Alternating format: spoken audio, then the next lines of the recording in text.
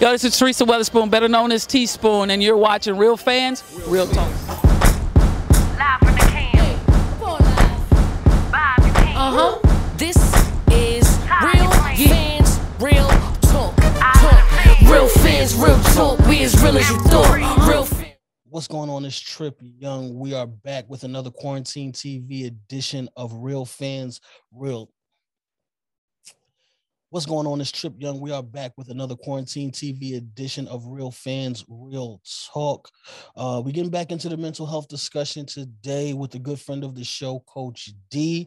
Um, she's been on the show with us several times. She's our mental health uh, expert on the show. So you know, every every so often we got to check in with her and uh, you know just just make sure everything is is good man. Make sure we we are good. Our spirits are up.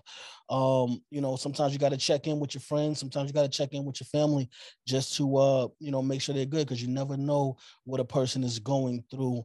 So with that being said, we call on Coach D to come in, you know, every every couple of months and just do a do a quick mental health check in with us. Talk a little bit of sports as well, because she's also a uh, a basketball coach. So we always love having uh, Coach D on the program with us. Um, before we get into uh, our segment with Coach D, though, I want to take a minute to dedicate this episode of Real Fans Real Talk to the late great Joe Hunt uh, good friend of of myself, good friend of Eric's, good friend of Sean Fontaine. You know, for all the shooting the shit fans, uh, he passed away this week. Um, he will be missed, but he will not be forgotten. So I'm just gonna take a quick moment of silence for Joe Hunt. And with that being said, we're gonna jump right into today's programming.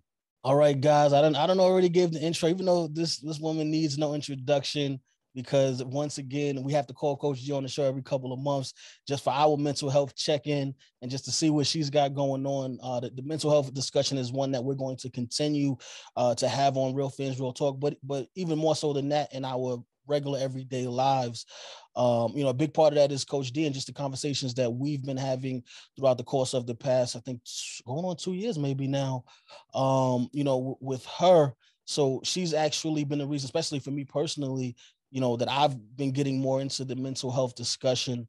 Um but you know this is real fans real talk and you know mental health in sports is a huge thing that i don't think gets a lot of coverage which is the other reason why we, we bring in coach d um who is also a, a basketball coach as well. So she's definitely well versed in the sports world.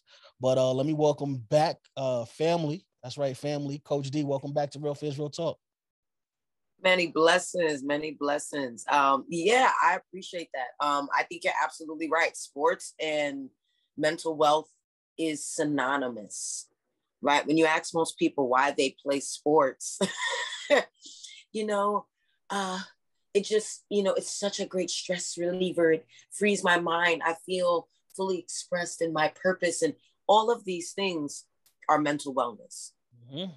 Right? Um and so really understanding that i think more and more people are understanding it by force if that makes sense. Because right the athlete the champion the titan if you will is the person the regular ordinary joe looks up to. And so you know that whole i just want to be like mike that was real because there was people who wanted to be like cassius clay and muhammad and you know all these other great um athletes that were able to impact the world Mhm. right? When you talk about the famous soccer player, I always forget his name. It's because I could never pronounce it right. But the the Brazilian man, the dark skinned man, Wait, um, Fele, Oh, who? Fele, I believe his name is. Pele? I don't know Pele. I know Pele. I don't know about Pele. Pele. Here we go, Pele. I never remember his name. it again, but yes, him. So you know, you have him, you have Serena, you have Cassius, you know, you have guys like Michael and LeBron and Magic. Um, in every sport, Arthur Ashe, in every sector of sport, you know, Usain Bolt. Like you have these these athletes who are like larger than life. And so when you get these type of people, you know, the people that the rest of the people look up to, saying, "Hey, there's a problem here," or "There's a a, a reapproach that's necessary."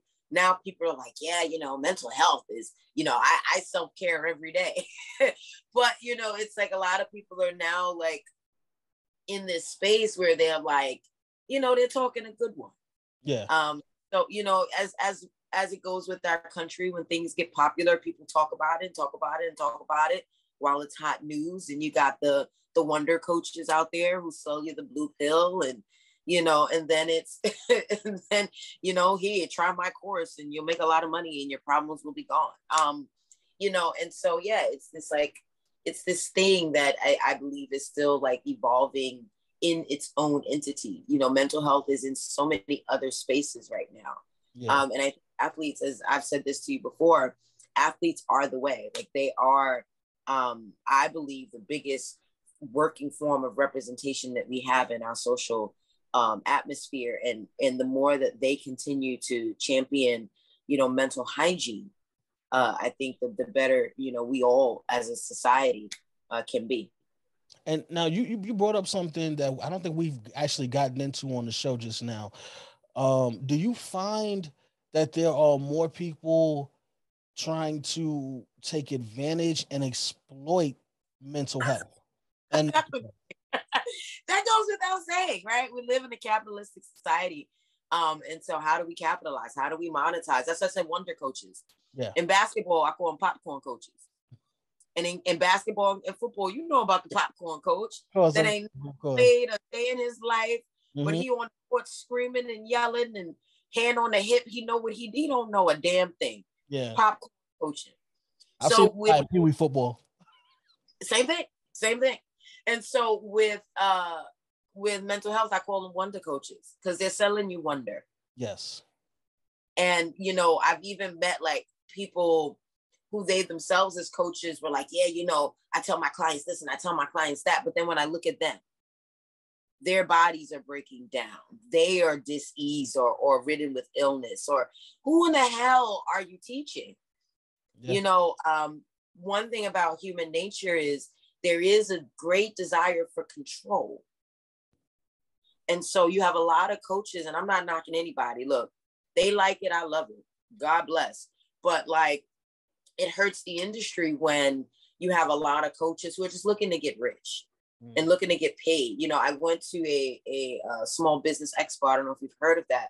And I went to a conference there, and you know, the big marketing thing was feelings. What do people feel, and how can you, um, you know, really get whatever it is that you do in in in sight of their feelings and emotions and it's just like yeah this is the world that we live in where unfortunately you know the way that people get through um and get on you know as we say is by you know tackling and and and really um just going after people's emotions people's fears people's vulnerabilities and it's the same thing with mental health I mean, when I look at sports, I go to all these mental health conferences all the time.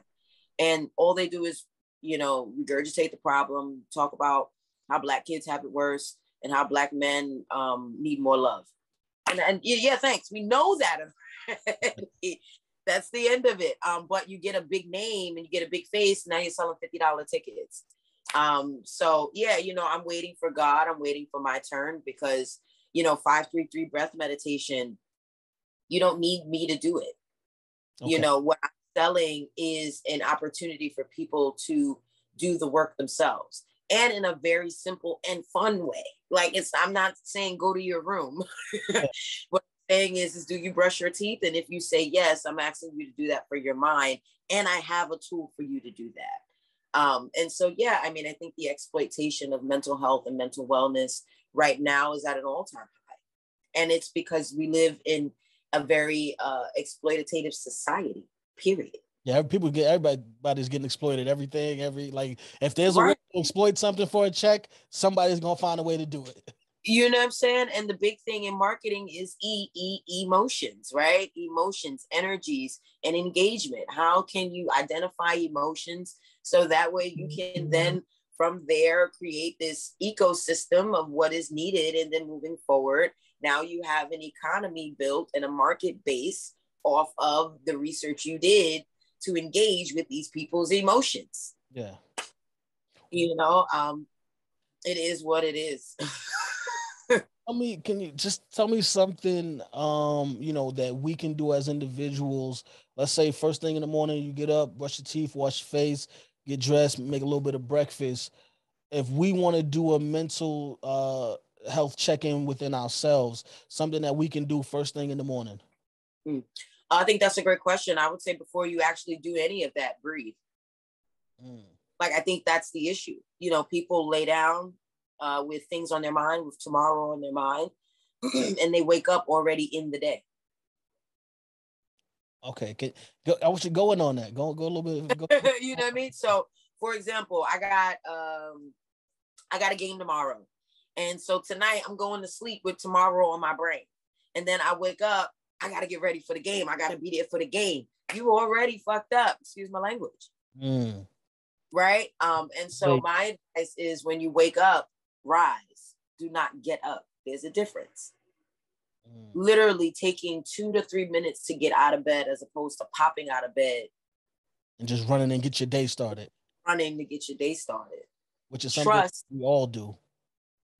Well, not me, not me, not me. Because as you know, Yeah, yeah, yes, yes. don't don't reach, don't come at Coach D before 10 o'clock. I mean, I'm up, but I'm not here for you. Um, girl, no ma'am. Um, hair flip, but yeah, I, I often say, you know, I meet myself before I meet the world.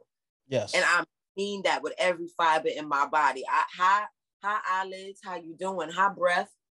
What you taste like this morning? Like the, the the very first thing that I would suggest to people is to rise out of bed and not wake up. Mm. That's the first thing. Okay. Take even if it's only 30 seconds. but um, I would also say after you brush your teeth, right? Number one, make your bed. Rise, make your bed, and then go brush your teeth. Um, I'm a big advocate of making your bed. And um, no, I'm not a fan of people who sleep on sheets and blankets and then have like a cover sheet and then all they do in the morning is remove the cover sheet. I'm not a fan of those people because those people are cheaters. those people are cheaters and they, they are cheating Mhm. the, the philosophical practice. Seriously. Seriously, it's like people who do email marketing but don't really engage their audience. It's like you're cheating. You're only doing this to check the box. And that is cheating. So no, we're, you're not included. If you are that person, you're laughing really hard because I feel like you're that person. So you're not about your life right now. I be Actually- cheating. Make your like actually get under your bed, get in it, get messy. And the reason I say that is because again, we're so focused on tomorrow. So most people do that to kind of skeet some time off of have to having to make their bed. It's like, bro, you like you do you're not doing the practice to do the practice, the practice of stopping, doing something for yourself wholly and completely before you go meet the world. It's real. But even in the way that you do that is for the world. Yeah. You know what I'm saying? I'm gonna conveniently have my bed already pre-made when I get out of it, so I can hurry up and join the world and get in it. It's like what? I do. Oh my god. I do. get I got two blankets on my bed right now. I sleep on top of the one blanket with the sheets underneath that and the pillows. So in the morning, all I gotta do is just fix the pillows back up and I'm good. you cheating at life. That's all I'm saying. All right, I'm gonna, I'm, I'm gonna check myself. I'm checking myself on that. right- By the next time you come down, I promise you, I'm not. I'm gonna get under all the covers.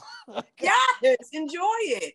Because you know what's interesting too, very quickly, it's like, and then I'll I'll have my my third tip, but people, some people buy illustrious beds. And I want to be one of those people one day. I'm not today. I'm about, I'm about to get. into- I got my eyes on one right now, actually. See, see, I mean, these illustrious purple mattresses with NASA tech and you know, like eight pillows and view. I mean, beautiful. What do you call it? Uh, was it not tapestry? What's the whatever whatever that is? Yeah, whatever that is that's on the bed and it's nice and it's like a few of them. Like you got got the sheet, the the, the Yeah. blanket, quilts, and the, those type. You know what type of beds I'm talking about? Hotel beds, Yes. and you don't enjoy it. Mm. You're not enjoying it. Yeah, because there's so much you didn't put into the to the look that you wanted to look so perfectly, you can't even really enjoy the damn bed. Right. And that's ego. Right. And so, how do we, and I'm learning that for myself as well. It's like, yeah, we get to enjoy the things that we enjoy without ego, which means it ain't for nobody else. You know what I'm saying? And so, if, if, you know, you are present with what it is that you have and what you've been able to do. You're also able to be grateful and gra- and and be and present in your gratitude. You're able to ground. You're able to take a moment and really look at the fruits of your labor and appreciate them. Yes. Right. Take time to appreciate the small things in your life. Like people say, yeah, we got to practice gratitude, but saying thankful, I'm I'm I'm thankful for life and my kids. Okay, like duh. Like if you died, you, you probably well, we don't know, you don't know, but if kids died, I'm sure you'd be mad. But what else are you really grateful for? The little things. Yeah. I'm grateful I have a bed. Like that, I for years, people don't know this about me. For years, I didn't have a bed. Mm.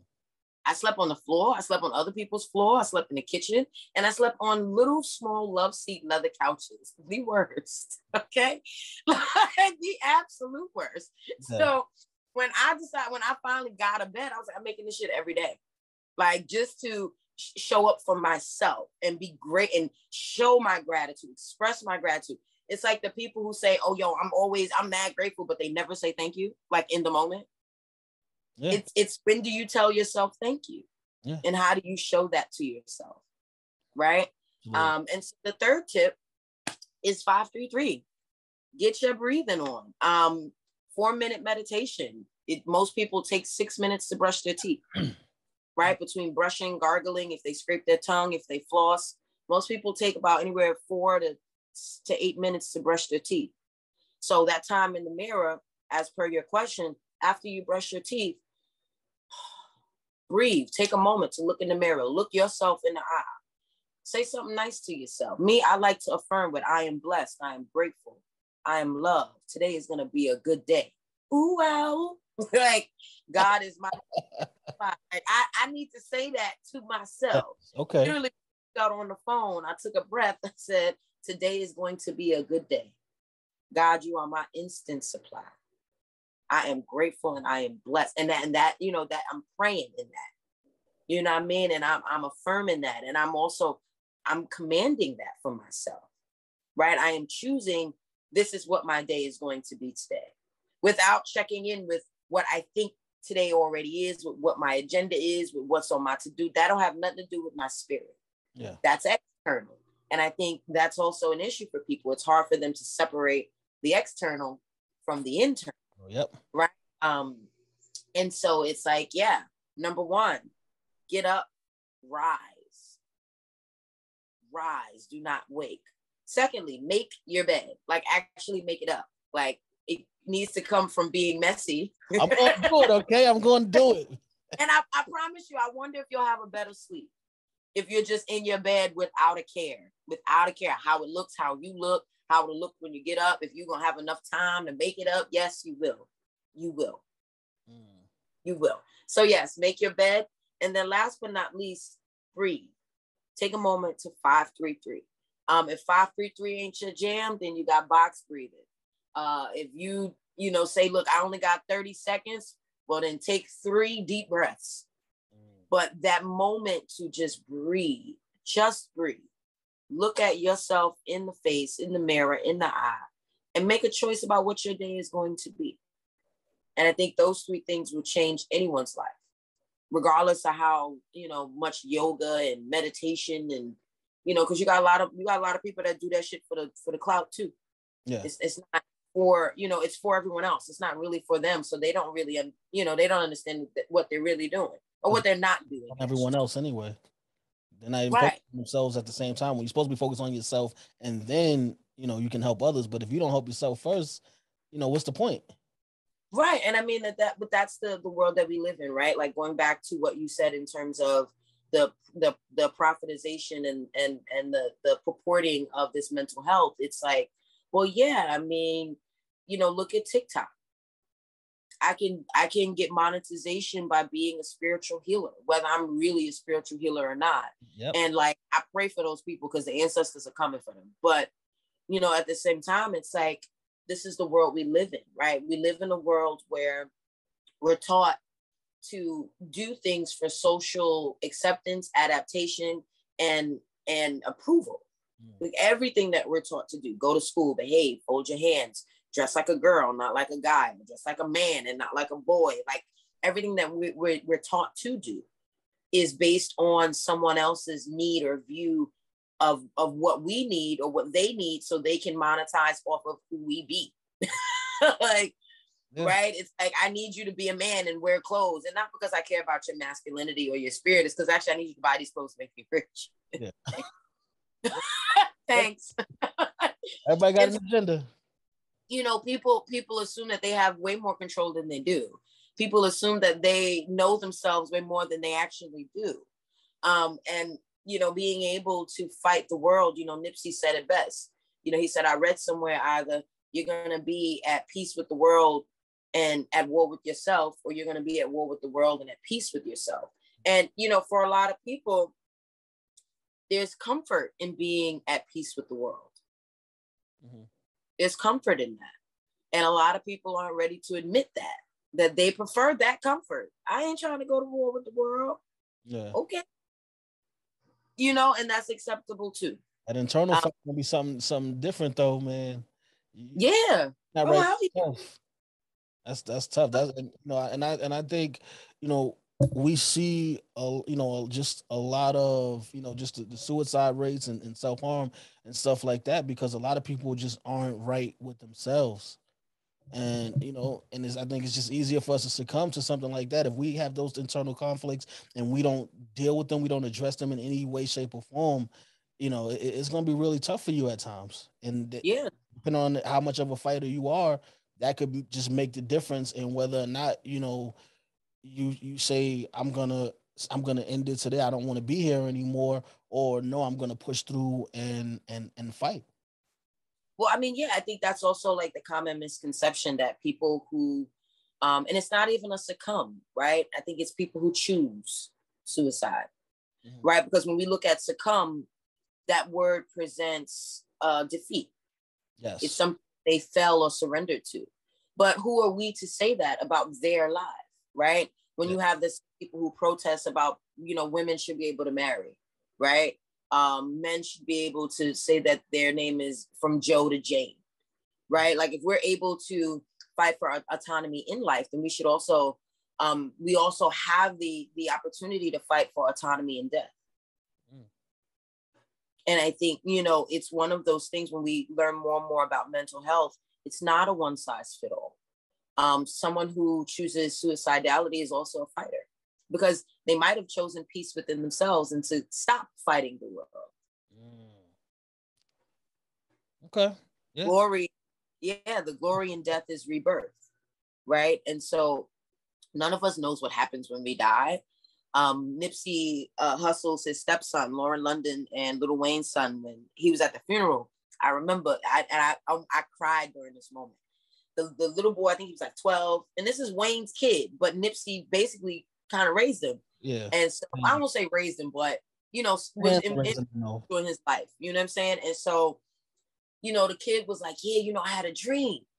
And Nick came to me in my dream and I asked him where he was. And he said, I'm at Paradise Killer. And he was like, he used to always call me killer. And he was like, This is how I knew it was Nipsey. And he was like, I'm in paradise. And so none of us here on earth knows what death is.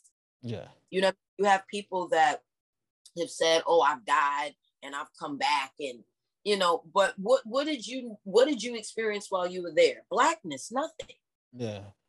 You know what I'm saying? Like you may feel the effects of that when you get back here based on being here, but to understand death, one have, would have to be dead. And how So- yeah, how long? Because you can't say you was out for 30 seconds and they brought you back. That's not the same thing. But as that, but that's Yeah. no, there are people that say that. They're like, yo, I, I was dead for two minutes, and I'm like, okay, like I've seen it all. what, what did you experience while you were there? Because to be honest with you, I've been knocked out before. Mhm. I've been put in the chokehold and put to sleep. If you like, I've been like I've I played fighting with boys and it was like ah bitch, uh," and I'm like, what what happened? What happened? Like, you know how that goes. Stop playing. Like, so yeah, was I dead for, for the next 10 seconds? Who knows? But my thing is that we don't get the way that we're laughing about it now with such a lightness and understanding, I think is the same way that we get to treat suicidality in an understanding. No, I'm not suggesting that we laugh at people who are experiencing extreme or severe suffering. No. What I'm saying and suggesting is, is that those people would be able to come forward and get the support that they need if suicidality wasn't seen as such a detriment, such a such a a, a, a vicious and, and villainous thing for someone to do for themselves. Right? Suicidality is about the relief and the release of pain. And the reason many feel against it is because they are they believe that life should be worth living, but they're talking about their own life. Yeah. They're not living the life of the person who feels that way. Because I mean, like, because I mean, I guess if you think about it, right? Like, if if you're, let's just say it's slavery, right? If a slaver, if a slave decided to take his life because they just couldn't deal with what was going on in the world around them, would we be mad at them for that, or will we be kind of understanding and, and say, well, you know, slaves have been beaten, raped, murdered, and they didn't want to deal with that anymore, so you know they took their their life. Well, I mean, it's interesting that you say that because there is a story like that, and we actually honor them.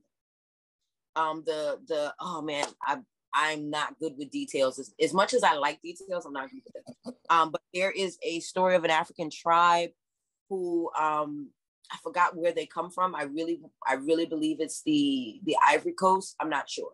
Um, however, there is a monument dedicated to them because they believe that uh, life was to be lived and to be a slave was to not live life. And so death was their only option because in order to live one must have an honor an honor about themselves and the life that they're living.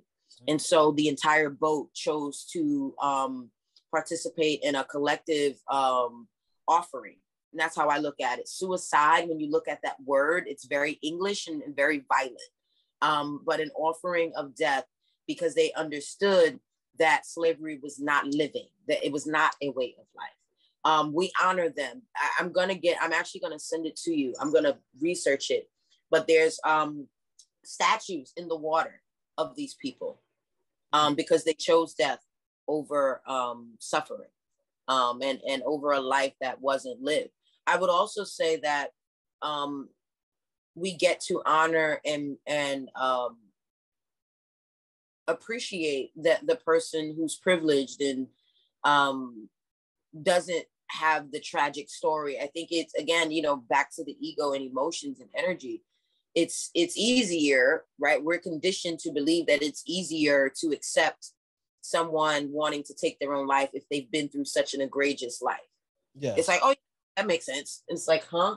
But then there's less respect for the person who we deem haven't not gone through that. Yeah. And so it's still a stigma.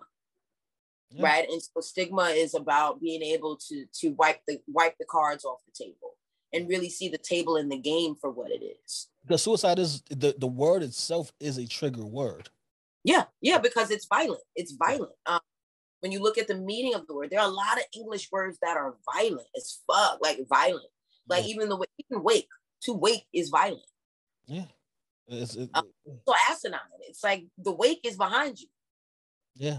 But so, to wake up is like to be behind and get what? What are we talking about here? Yeah. Um, you know, and so even the whole morning debate, like people, you know, the hoteps, it's like, nah, sister, we don't say good morning because it means death. and I get it. And I and I'm actually not a fan of saying good morning. But if someone says good morning to me, I'm not about to shoot them down. Like I know they're not wishing death on me. Yeah. Um, however, the language that we speak, yeah, it's very violent. It's very violent AF. no, that's very a, that's a fact. Now I want to jump into you know because I, I actually did come on today because I wanted to talk. You know, we we saw um you know over the summer Naomi Osaka uh was dealing with with some some some mental health issues, and then more recently, you know, this past week, uh Ben Simmons uh from the 76ers he came out and said he was dealing with uh, some mental health issues and he wasn't actually ready to to, to play.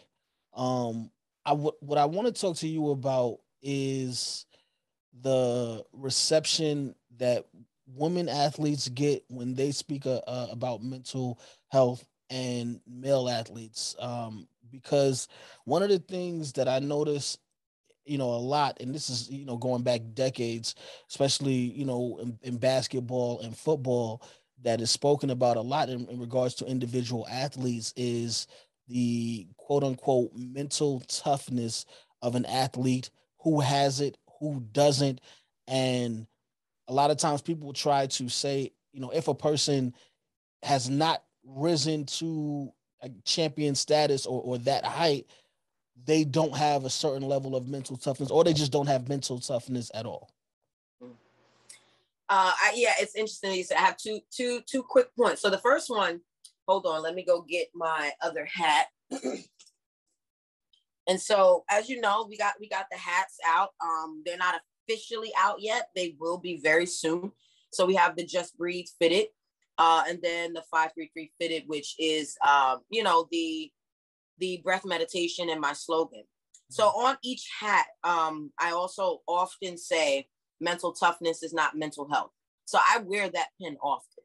Mental toughness is not mental health. Um, I worked with boys for over 15 years and I'm gay, right? So that I'm masculine presenting. So I can hang out with the dudes. I'm like, hey girl, I, you know, I can kind of float between the two. And so uh, I date women, right? So there's an understanding I am not a man.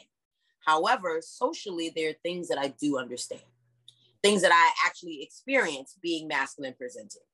Um, and so, with that being said, uh, the entire um, foundation of the athlete project of Get Fit Fly Right, of my own personal campaign, is that regardless of how mentally tough anyone is, that has no bearing on their emotions. Mm-hmm. I'm a Black woman from the projects whose parents aren't here. I'm gay, I'm alive, and I'm still cute. I don't think anyone else has it tougher other than whoever has my story and it has a child. because once and they gotta be a single parent. Okay, once you I'm like, ah, oh, you got it. Okay. like, but in all seriousness, um, mental toughness is not mental health. And uh, for years, right, um, mental toughness is, I'm just gonna say it, it's a part of the pseudo uh predominantly white um, just affect of we're the best and you know we're we're gonna uh, you know we're gonna persevere and you know it's it's this old American ideology and American lore around being the toughest and and being uh, the the most ruthless and being cutthroat. Um, and you know, I think that has affected Black people in a way more severe way than it can ever affect white people. Um, and the reason is, is because white people are allowed to be mediocre and still have a good life. Yes. Black people, if you're mediocre, you're broke, you know, no one knows your name and no one cares. Mm-hmm. But on the opposite end of that spectrum is everyone now cares about not you, but what you do. And so now Black people in a large scale, excuse me, artists like yourself have been able to take that power back. But for those that are on the main stage, like Ben Simmons, like Simone Biles, like a Jaylen Brown, like a Kevin Love, like a Delonte West, there is a whole slew of people. We can go from gender, we can even go from race. The way that Kevin Love was treated versus the way Delonte West was treated. Mm-hmm. You know, the way that Jaylen Brown um, kind of like slipped in and slipped out, you know, uh, literally talking about the same things that Kyrie Irving is talking about. yeah. You know what I mean? And so it really depends on, I don't think it's race or gender. This is just my opinion. I think it's about the status quo. Who's more marketable? Who makes us look good, going back to the professionalization of mental health? Who looks more good for us to stand next to with their mental health? Simone Biles is a champion athlete who pulled herself up from her bootstraps because she was a black girl and she had a crackhead mama and she got adopted by some really nice people, and now she's amazing. She's allowed to have a mental health issue. Mm-hmm. Kyrie Irving isn't because he's like fuck the system, right? Like so, if if you know we we have to you know we really have to get into the narrative of media. Yeah. Right. Because th- that plays a major role in how we hear and understand these these intricate situations and enough to compare them to each other. And so I think we have to put everything on the table in that space. You know, Simone Biles, aside from her gender, yeah, she's allowed to have trouble because she's never been in trouble. Yeah. She's allowed to um have the safe space because she's seen as such a darling. Yeah. She's seen, you know, someone who is one of the good black folk, which is a thing. Yeah. She's she's not the black folk that's stirring up trouble. Mhm. Whether people want to believe it or not, there's been a, a, a, disconnect between just the 1960s and being a good nigga. Yeah. I had asked me uh, last year or maybe the year before last. It's like, is there a difference between a good black, a black person and a bad black person? I said, yeah, Tupac. Uh, what did I say? Oh, Tupac and um Thurgood Marshall. Like it was something like that. It was like the difference between like a rapper and like someone like a black person who chooses to be, you know, a, a different figure in society, Mhm. right? Because that's a good nigga, because he's playing his role. And then you have the loud nigga, the one that always want to stir some shit up. That's how Kyrie has been perceived. Yeah. Yeah. Next, someone like Simone Biles, who is this darling woman who, you know, had such a, a enduring life, but her story is so amazing. Kyrie got the similar, a similar. Actually, he has the more cookie cutter story than Simone Biles does. Yeah. He grew up with both his parents, right, and his sister. He oh. had a two parent household. Wasn't in the played ball. His father gave up his dream because his mama died of cancer and pushed his son to stardom. What? Went to He college. actually has a perfect cookie cutter story.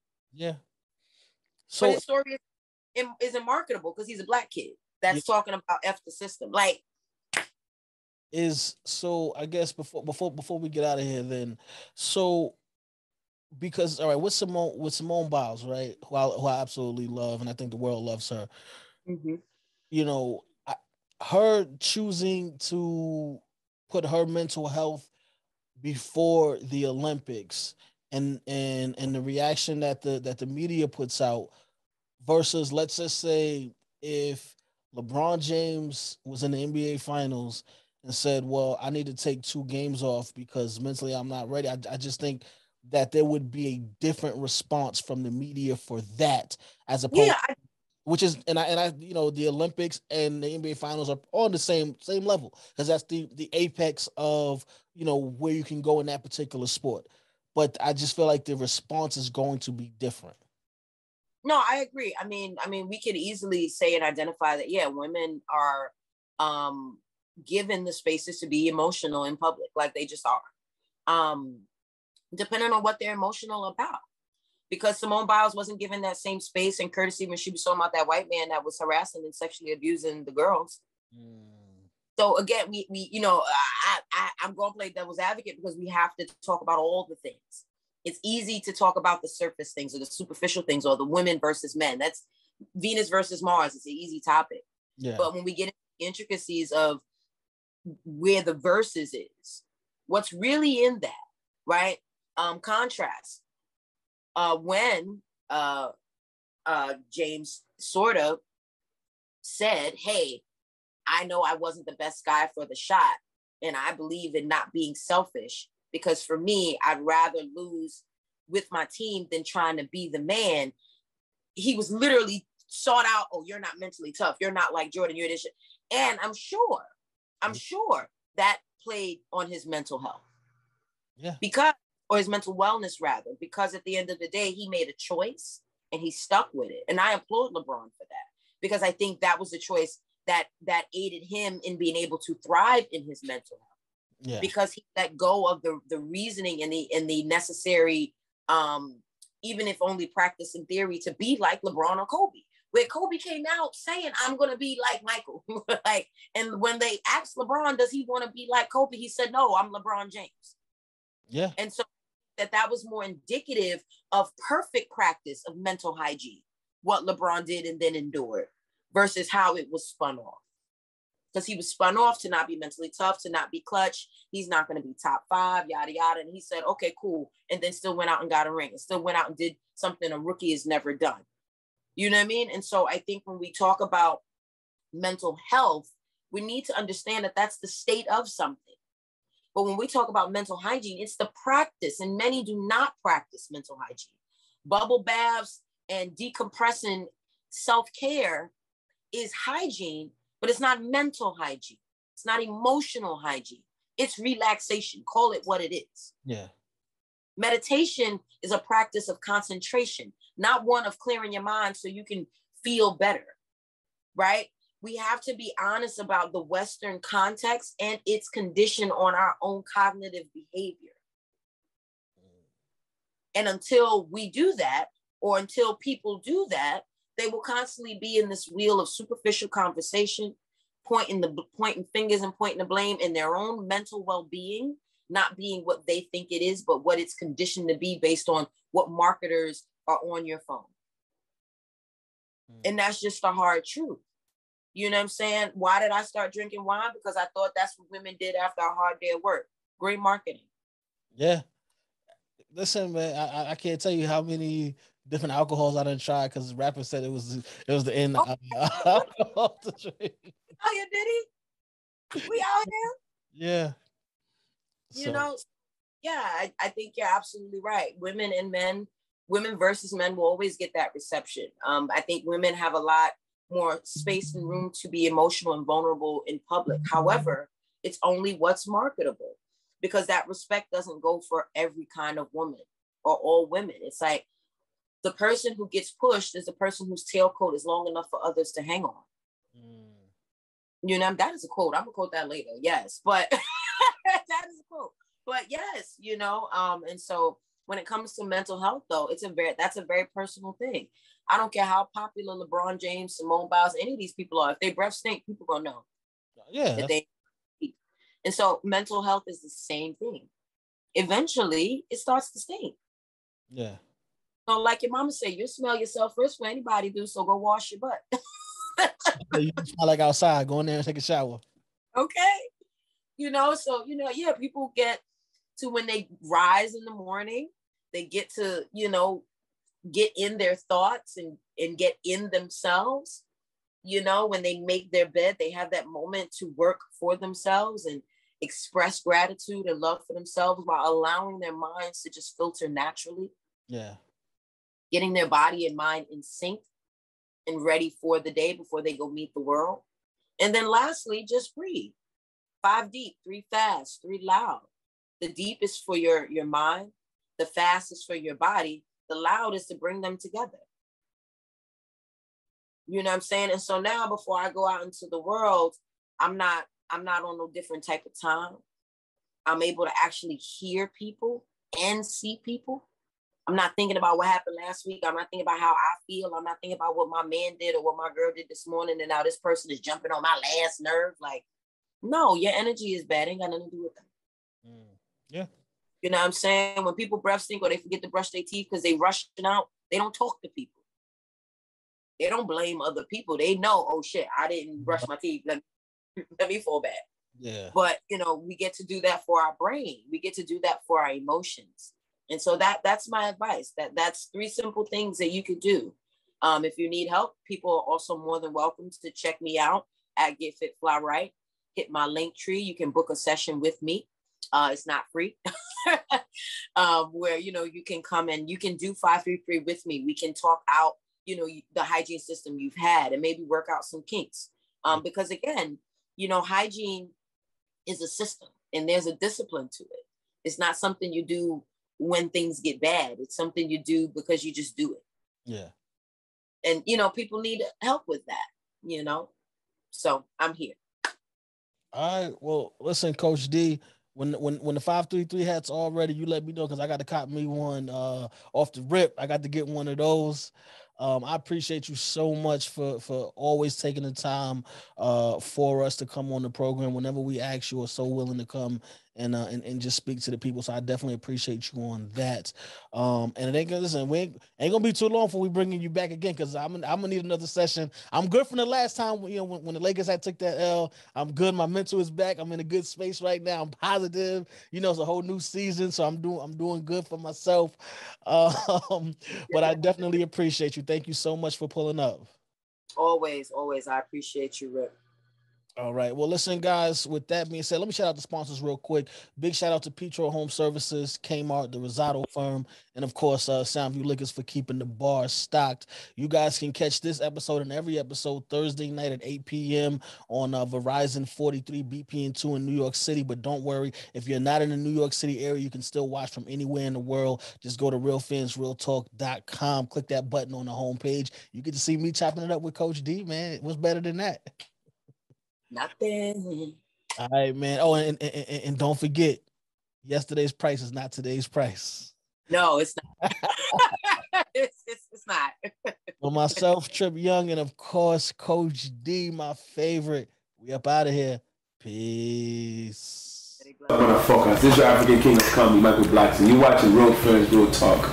Get real with it, my son.